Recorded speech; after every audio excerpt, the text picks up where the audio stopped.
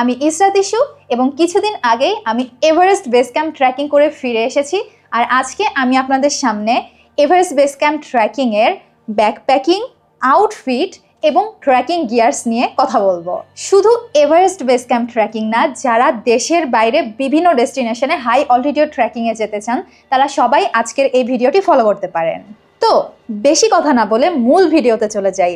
ব্যাকপ্যাকিংয়ের জন্য প্রথমেই যে অ্যাসেন্সিয়াল জিনিসটা আপনার লাগবে, সেটা হচ্ছে একটা light weight comfortable easy to carry backpack দেখুন, ছেলেদের এবং মেয়েদের বডির স্ট্রাকচার কিন্তু আলাদা, তাই এদের জন্য ব্যাকপ্যাকের ডিজাইনও কিন্তু আলাদা হয়ে থাকে। কিন্তু বেশিরভাগ সময়ই আমরা এই ব্যাপারটাকে অবহেলা করে থাকি, যেটা কিন্তু লং টার্মে কোনো ভালো ফলাফল বয়ে নিয়ে আসে না। যদি আপনার রেগুলার ট্রেকিংয়ে যাওয়ার অভ্যাস থাকে তাহলে আমার রেকমেন্ডেশন থাকবে যে একটা ভালো ওয়াটারপ্রুফ ব্যাকপ্যাকে বিনিয়োগ করা আপনার জন্য সবচেয়ে অ্যাসেন্সিয়াল একটা বিষয়। আমার এই ব্যাকপ্যাকটা আমি ডিক্যাথলন থেকে নিয়েছিলাম ফোর ক্লাসের একটা ব্যাকপ্যাক যেটার ওজন কিনা মাত্র এক কেজি এবং এটার সাইজ হচ্ছে ফিফটি ফাইভ লিটার এই সেম মডেলের ব্যাগ সাদির জন্য নেওয়া হয়েছিল তো সাদির জন্য যেটা নেওয়া হয়েছিল, সেটার ডিজাইনটা অনেকটা এরকম ছিল। এটা একটা সিক্সটি লিটারের ব্যাগ দুটা কিন্তু সেম মডেল কিন্তু আপনারা দেখতে পাচ্ছেন যে ছেলে এবং মেয়েদের ব্যাগের ডিজাইনটা কিন্তু আলাদা। এছাড়াও ব্যাকপ্যাকের স্ট্র্যাপ কীভাবে আপনার হাইট অনুযায়ী ঠিকঠাকভাবে ফিট করে নিতে পারবেন, সেটার উপরে হয়তো বা আমি শর্ট ভিডিও আপলোড করব চ্যানেলে নজর রাখবেন। তো যাই হোক ব্যাকপ্যাক তো হলো, এখন আসি ব্যাকপ্যাকের মধ্যে আপনি কি কি ক্যারি করবেন? তো প্রথমেই চলে আসি আউটফিট নিয়ে।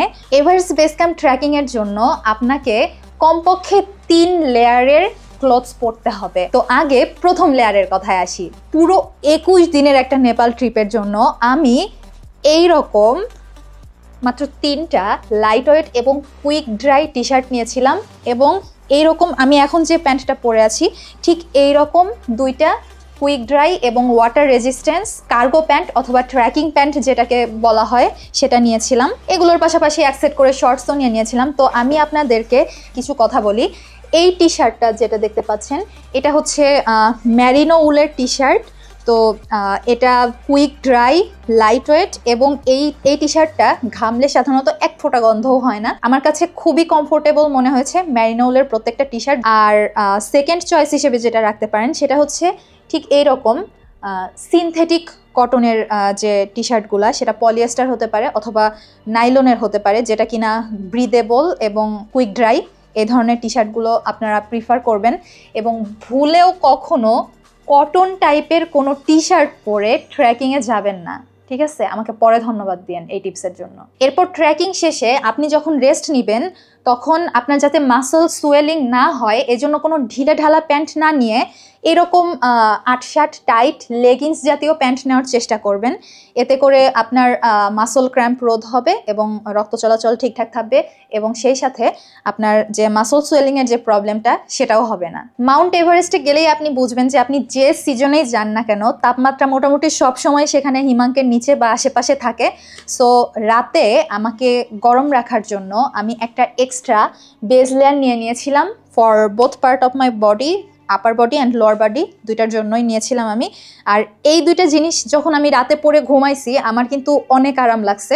আমার একটা বেস্ট ডিসিশন ছিল এই দুইটা জিনিস আমার সাথে নিয়ে যাওয়া। তো আমি সাধারণত আসলে ট্রেকিংয়ের সময় মানে বেস লেয়ার বা থার্মাল লেয়ার পরে ট্রেকিং করা পছন্দ করি না। কারণ এইটা পরলে আপনি দেখবেন যে আপনি যতই কম টেম্পারেচারের মধ্যে ট্রেকিং করেন না কেন, আপনার প্রচুর ঘাম হবে।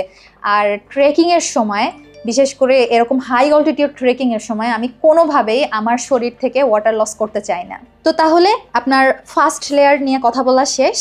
এখন আসি সেকেন্ড লেয়ারে সেকেন্ড লেয়ার হিসেবে আমি এরকম একটা ultra light weight fleece jacket নিয়েছিলাম ফ্লিচ জ্যাকেট এটাও আমি ডিকাতলন থেকেই নিয়েছিলাম।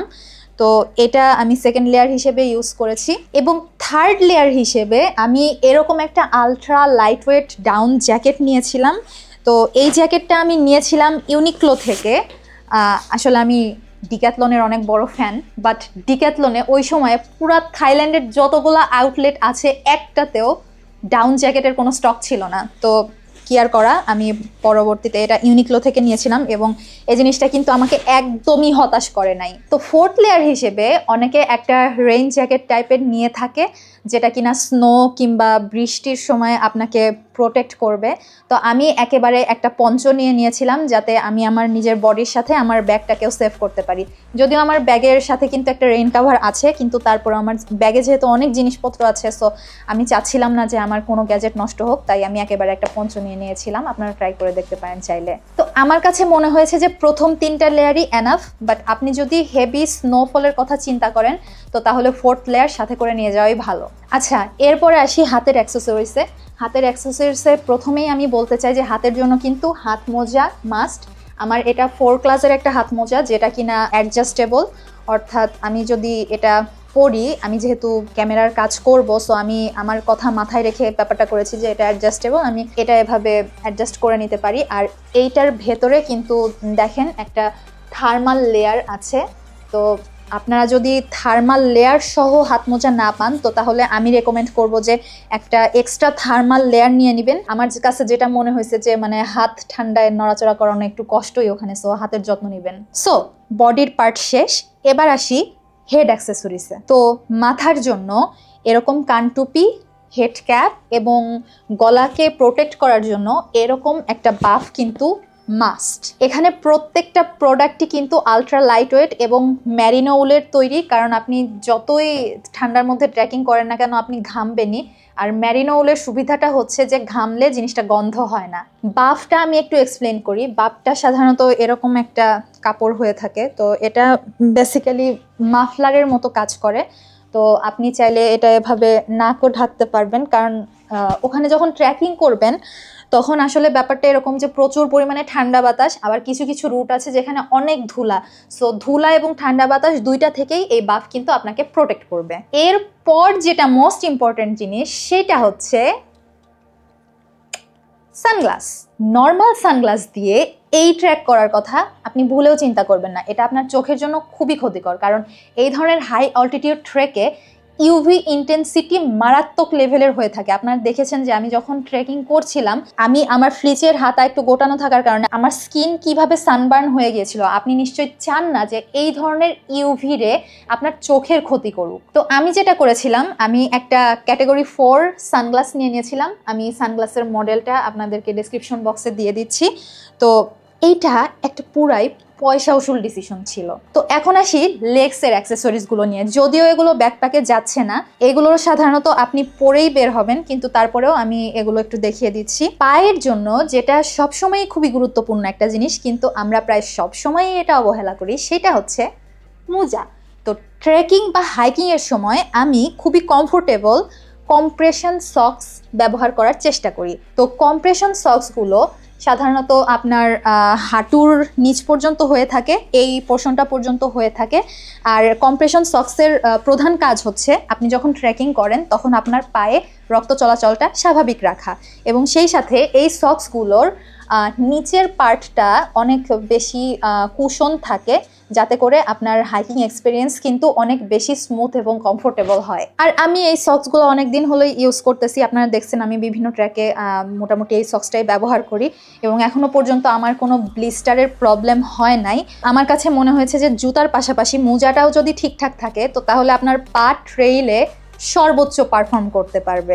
আমি বেসিক্যালি ফোর ক্লাসের ট্রেক ওয়ান হান্ড্রেড সিরিজের ওয়াইড যে ভার্সনটা আছে, সেই ট্রেকিং শুটা ব্যবহার করছি। তো আমি এ পর্যন্ত যতগুলো ট্র্যাক করেছিলাম গত বছর, তার সব কটাতেই আমি ওই শুটা ব্যবহার করেছি এবং আমার এক্সপিরিয়েন্স খুবই ভালো ছিল। তো আপনি আপনার জন্য পারফেক্ট ট্রেকিং শু কীভাবে চুজ করতে পারেন, সেটার জন্য আমার একটা আলাদা ভিডিও আছে, তো আপনারা ওই ভিডিওটা দেখে নিতে পারেন। ডিসক্রিপশন বক্সে লিঙ্ক দেওয়া আছে। ওকে সো আউটফিট শেষ। এইবার আসি আপনারা ফার্স্ট এইড বক্সে কি কি ক্যারি করবেন সেটা নিয়ে। ও হ্যাঁ ভালো কথা। এই প্রত্যেকটা জিনিস আমি আলাদা আলাদাভাবে প্যাক করেছিলাম মানে হজবরল ব্যাগের মধ্যে উঠাই নাই। এরকম ছোট্ট ছোট্ট পাউচে আমি আলাদা আলাদা করে প্যাক করেছিলাম। যে পাউচগুলো কিন্তু সম্পূর্ণ ওয়াটারপ্রুফ যেহেতু আমি জানি যে আমি মনসুন সিজনে যাচ্ছি এবং প্রচুর বৃষ্টিপাত হবে এবং আপনারা আমার ভিডিওতে দেখছেন যে কী পরিমাণে বৃষ্টি আমি ফেস করছিলাম। সো এইটা একটা বেস্ট ডিসিশন ছিল।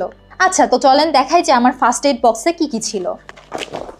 প্যারাসিটামল অমিপ্রাজল এগুলো তো খুবই অ্যাসেন্সিয়াল ড্রাগস এর পাশাপাশি আপনি যেটা নেবেন সেটা হচ্ছে ইলেকট্রোলাইট ড্রিঙ্কস যেটা আপনার বডির ইলেকট্রোলাইট ইমব্যালেন্সকে ফাইট করতে সাহায্য করবে। প্রয়োজন বোধে আপনি প্রোটিন পাউডার নিতে পারেন, তবে আমার কাছে মনে হয়েছে যে আপনি যদি ট্রেলের খাবারগুলোর সাথে মোটামুটি কমফোর্টেবল থাকেন, তো তাহলে এগুলো এক্সট্রা কিছু নেওয়ার প্রয়োজন হবে না। ট্রেলের খাবারই আপনার জন্য অ্যানাফ আপনার যদি নাক দিয়ে পানি পড়ার প্রবলেম থেকে থাকে, কারণ কুম্ভু কফ সবারই হবে। সো নাকে পানি পড়ার প্রবলেম থাকলে অবশ্যই একটা ন্যাজাল ড্রপ নিয়ে যাবেন সাথে করে। এছাড়াও খুশফুসে কাশি থেকে বাঁচার জন্য এরকম স্ট্রেপসিলস ট্যাবলেট নিতে পারেন। অবশ্যই অবশ্যই সানস্ক্রিন লোশন এবং সানস্ক্রিন সাথে করে নিয়ে যাবেন। আমরা মাথা ব্যথার জন্য টাইগার বাম নিয়েছিলাম, যেটা কিন্তু খুবই কাজে দিয়েছে। এটা কিন্তু শুধু যে আপনার মাথা ব্যথার জন্য কাজে দিবে এমন না। আপনার যদি খারাপ লাগে, নিঃশ্বাস নিতে কষ্ট হয় বা অস্বস্তি বোধ হয়, তো তাহলে একটা সিম্পল ট্রিক্স আছে। সেটা হচ্ছে যে টাইগার বামটা নিয়ে যদি আপনি একটু নাকের আশেপাশে লাগিয়ে থাকেন, তো তাহলে দেখবেন যে আপনার অনেক ফ্রেশ লাগবে। এটা কিন্তু একটা ফ্রি টিপস ঠিক আছে? এছাড়াও ব্যথার স্প্রে যদি কখনো ভুলে কাটাছেঁড়া হয়, তো তাহলে সেজন্য ব্যান্ডেজ কাটাছেঁড়া হতেই পারে, এটা খুবই অবভিয়াস একটা বিষয়। আমিও কিন্তু কয়েকবার করে ট্রেলে পড়ে গেছি, আপনারা দেখছেন আমার ভিডিওগুলোতে। তো সেটা যা যদি গুরুতর পর্যায়ে কোনো কিছু হয়, তো তাহলে সেজন্য আমি আপনাদেরকে এই মিউপিরোসিন অয়েন্টমেন্ট যেটা আমাদের দেশে ব্যাকট্রোসিন নামে পাওয়া যায়, তো আপনারা ব্যাকট্রোসিনটা সাথে রাখতে পারেন। এটা যে কোনো ধরনের কাটা, ছেলা, ছেঁড়াতে আপনি ব্যবহার করতে পারেন নিশ্চিন্তে। এরপরে যেটা আসতেছে, সেটা হচ্ছে যে অ্যাকুয়া ট্যাপস তো অ্যাকুয়া ট্যাপসটা আপনি নেপালের যে কোনো ডিসপেন্সারি থেকে কিনে নিতে পারবেন।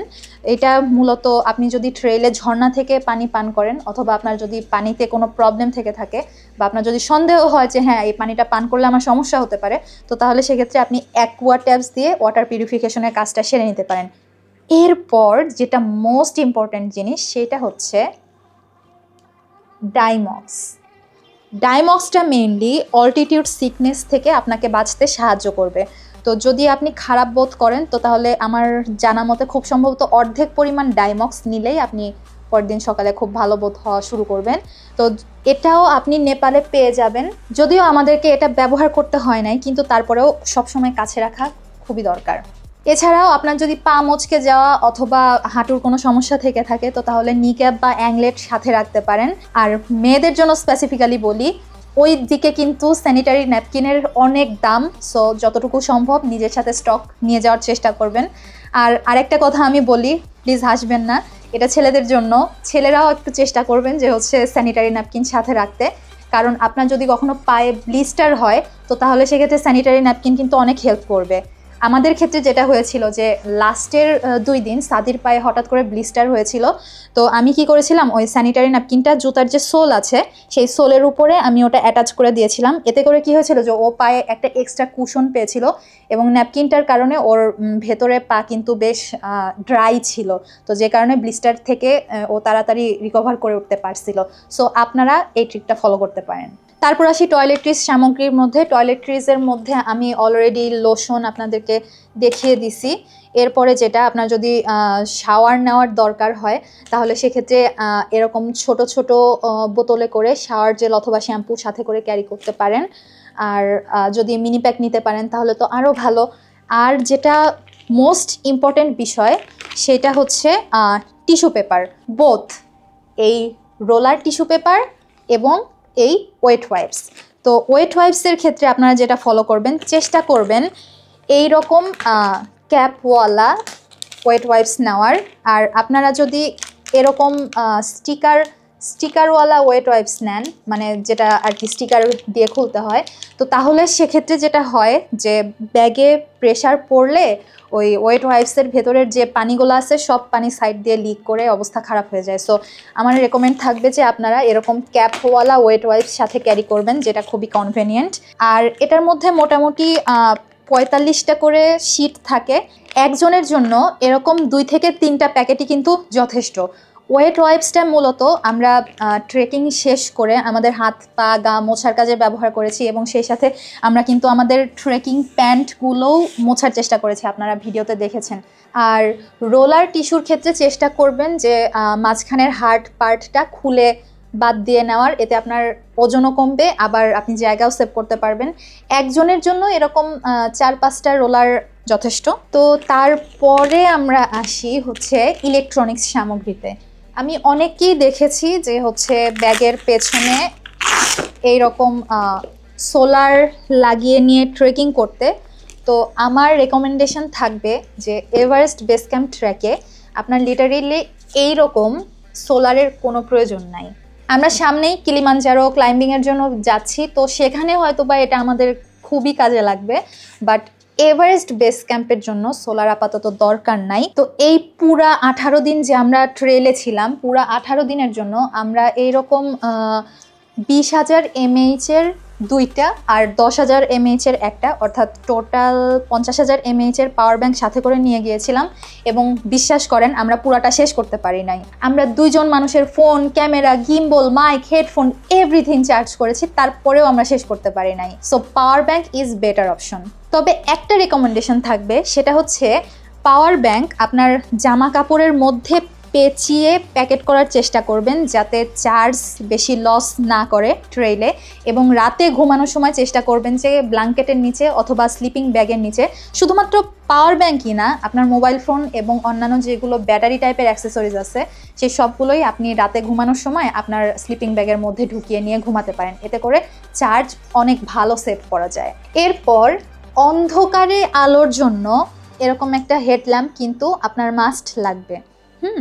তো অন্য কোনো জায়গায় দরকার না পড়লেও আপনি যেদিন কালাপাথর সামিটে যাবেন, সেদিন কিন্তু আপনার মাস্ট হেডল্যাম্প লাগবে, তাই একটা ভালো হেডল্যাম্প সাথে নিয়ে যাওয়ার চেষ্টা করবেন। অন্যদিকে আরেকটা কথা বলে রাখি, সেটা হচ্ছে যে জিপিএসের দিন কিন্তু শেষ। এই রুটটা খুবই সুন্দর ওয়েল ডিফাইন্ড সো আপনার এখানে জিপিএস লাগবে না। আর যদি আপনি রুট সম্পর্কে জানতে চান, তো তাহলে আপনার ফোনে একটা অফলাইন ম্যাপ ইনস্টল করে নিতে পারেন, যেটার নাম হচ্ছে ম্যাপস ডট মি এই ম্যাপটা ব্যবহার করলে আপনি ট্রেলে থাকাকালীন সময়ে সব ধরনের আপডেট পেয়ে যাবেন। যেমন কত এলিভেশন আপনাকে গেইন করতে হবে, কত কিলোমিটার আপনাকে হাঁটতে হবে ট্রেইলটা কীরকম, কোথায় ওঠা, কোথায় নামা এভরিথিং এছাড়াও আপনার প্রয়োজনীয় চার্জার এবং অন্যান্য জিনিসপত্র নিজের প্রয়োজন অনুযায়ী প্যাকেট করবেন। নেপালের পোর্টগুলা একটু ডিফারেন্ট অনেক বড় মাল্টিপ্লাগ নেওয়ার কোনো দরকার নাই।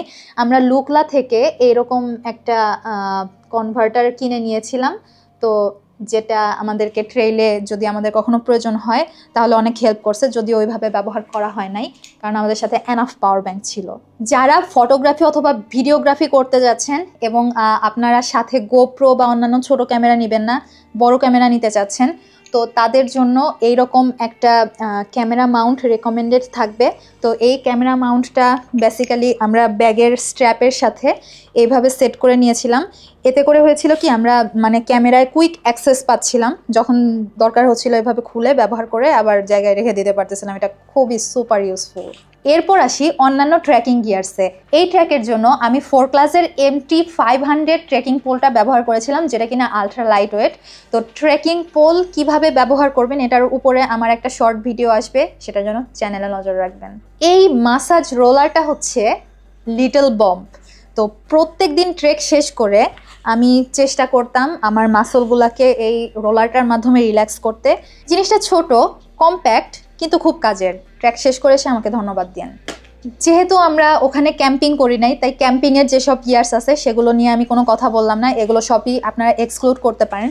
তবে একটা জিনিস আপনারা অবশ্যই নিতে পারেন, সেটা হচ্ছে স্লিপিং ব্যাগ এই স্লিপিং ব্যাগটা আমি থামেল থেকে কিনেছিলাম, যেটা আমি পরবর্তীতে ট্রেইলে আবিষ্কার করলাম যে স্লিপিং ব্যাগটা মেড ইন বাংলাদেশ আমি জানি না এটা বাংলাদেশে পাওয়া যায় কিনা বাট স্লিপিং ব্যাগটা এত কমফোর্টেবল ছিল সেটা বলার মতো না। তো এখন আমি আপনাদেরকে স্লিপিং ব্যাগ কীভাবে চুজ করবেন সেটা নিয়ে ছোটোখাটো কিছু টিপস বলে দেই। তো বেশিরভাগ স্লিপিং ব্যাগই আপনি যখন থামেল থেকে কিনবেন, দেখবেন যে ওটার ভেতরে যে ম্যাটেরিয়ালটা থাকে, সেই ম্যাটেরিয়ালটা সাধারণত ওরা সিনথেটিক ম্যাটেরিয়াল ইউজ করে থাকে, যেটা কিন্তু খুব বেশি, খুব একটা ভালো ইনসুলেশন দেয় না। তো এই স্লিপিং ব্যাগটার ভেতরে ব্যবহার করা হয়েছে গুজ ডাউন যেটা কিন্তু খুবই ভালো ইনসুলেটর হিসেবে কাজ করে এবং এটা মাইনাস ফাইভ থেকে মাইনাস টেন টেম্পারেচারে আরামসে আপনার চলে যাবে। এই স্লিপিং ব্যাগটা আমি থামেল থেকে পঁচিশশো রুপি দিয়ে কিনেছিলাম। থামেল থেকে কোনো কিছু কেনার সময় অবশ্যই খুব ভালো টকঝক করে কিনবেন, কারণ এটার কিন্তু অনেক দাম চাইছিল। তো নেক্সট যে জিনিসটা, সেটা হচ্ছে ক্র্যাম্পন যারা শুধুমাত্র এভারেস্ট বেস ক্যাম্পে যাচ্ছেন, তাদের জন্য ক্র্যাম্পন প্রয়োজন নাই। কিন্তু যারা এভারেস্ট বেস ক্যাম্প শেষ করে চোলা পাসেও যাবেন। তারা চোলা পাস ক্রস করার সময় এই ক্র্যাম্পন কিন্তু খুবই কাজে লাগবে। ক্র্যাম্পন দেখতে সাধারণত এরকম হয়ে থাকে। তো ক্র্যাম্পনটা মেনলি আপনার জুতার সাথে পড়তে হয়। এই যে এরকম একটা স্ট্রাকচার আছে, এই স্ট্রাকচারটা জুতার নিচে দিলে এই যে এই যে স্পাইকগুলো আছে, এই স্পাইকগুলো দিয়ে খুব সুন্দর বরফের মধ্যে গ্রিপ পাওয়া যায়। তো যদি আপনাদের চোলা পাস করার ইচ্ছা থাকে, তো তাহলে আমি রেকমেন্ড করব যে ক্র্যাম্পনটা সাথে রাখলে আপনার ট্রেকিং অনেক ইজি হয়ে যাবে। তো এছাড়াও হালকা এরকম একদমই লাইট ওয়েট একটা ডে প্যাক সাথে রাখতে পারেন, যেটা কিনা ভাজ করে যে কোনো জায়গায় রাখা যায়। তো এইটা মেনলি আপনি যখন অ্যাক্লিমাটাইজেশনে যাবেন অ্যাক্লিমাটাইজেশন হাইকে যাওয়ার সময় এটার মধ্যে করে আপনি পানি বা ছোটোখাটো এটা ওটা জিনিস ক্যারি করতে পারবেন। তো ডে প্যাক অবশ্যই একটা সাথে রাখবেন। আবার যদি পোর্টার নেন, তো তাহলে সেক্ষেত্রে আপনার প্রয়োজনীয় জিনিসগুলো ডে প্যাকে ভরে রেখে আপনি আপনার মেন ব্যাগ হয়তো বা পোর্টারের ডাফল ব্যাগে দিয়ে দিতে পারেন। এরপর আসি পানির বোতলে। তো কেমন পানির বোতল নেবেন? এটা আসলে কমপ্লিটলি আপনার চয়েস বাট আমি আপনাকে একটু হিন্টস দিয়ে দেই। আমি এরকম একটা পানির বোতল নিয়েছিলাম। তো এইটা তাপ সহনশীল, কারণ আমি জানি যে আমাকে ট্রেইলে বারবার গরম পানি তুলতে হবে। তাই আমি চাচ্ছিলাম যে এরকম সিলিন্ডার টাইপের কিছু একটা নেওয়ার এবং জিনিসটা খুব ভালো কাজে দিচ্ছে আমার। এগুলো আপনি থামেল থেকে খুব কম দামে কিনতে পারবেন। আর এইটা যেটা, আমি অনেককেই দেখেছি যে ট্রেইলে এরকম জিনিস ব্যবহার করতে চান। এটার কারণ হচ্ছে যে এটা খুব সুন্দর কুইক অ্যাক্সেসিবল আপনি যদি ব্যাগে থাকে তাহলে হয়তো বা খুব সুন্দর এভাবে স্ট্রর মতো করে পানি খেতে পারবেন। বাট বিশ্বাস করেন এই জিনিসটা মোটেও প্র্যাকটিক্যাল না।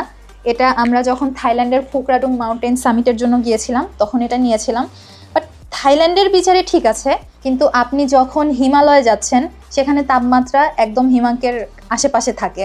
সো সেক্ষেত্রে আপনার যেটা হবে যে এই নজেলগুলো জমে বরফ হয়ে যাবে। তো আমার যেটা রেকমেন্ডেশন থাকবে যে জিনিসটা অনেক বেশি ফ্যান্সি মনে হলেও এটা অ্যাভয়েড করাই ভালো।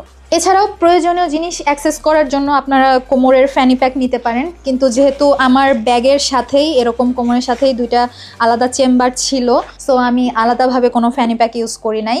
সাথে অবশ্যই শুকনা খাবার এবং চকলেট রাখবেন। কারণ চকলেট যদি আপনি না নিয়ে যান নিচ থেকে এক একটা স্নিকার্স আপনাকে দুইশো থেকে শুরু করে আটশো রুপি পর্যন্ত কিনতে হতে পারে। সো এটা আগে থেকেই সাথে করে নিয়ে যাবেন। তো, এই ছিল ব্যাকপ্যাকিং সম্পর্কে সমস্ত খুঁটিনাটি। আশা করতেছি যে আমার এই ভিডিওটা দেখে আপনারা আজকেই আপনাদের ব্যাকপ্যাক গুছিয়ে নিতে পারবেন। এছাড়াও ট্র্যাকিং রিলেটেড আরও অনেক টিপসের জন্য আপনারা আমার ওয়েবসাইট ফলো করতে পারেন। কারণ সেখানে আমি নিয়মিত ব্লগ লেখার চেষ্টা করি। আই মিন আমার মাথায় যে জিনিসগুলো আসে সেই জিনিসগুলো আমি চেষ্টা করি আমার ওয়েবসাইটে লিপিবদ্ধ করে রাখতে। তো আশা করছি আজকের ভিডিওটা আপনাদের অনেক কাজে লাগবে এবং আপনারা এই ভিডিওটা দেখতে দেখতেই হয়তো আপনাদের ব্যাগ প্যাক গুছায় ফেলছেন এতক্ষণে, আমি জানি। তো দেখা হচ্ছে পরবর্তী ভিডিওতে আবার নতুন কোনো টিপস নিয়ে হাজির হব অথবা নতুন কোনো জায়গা ট্রেইল থেকে হাজির হব। তো টিল দেন গুড বাই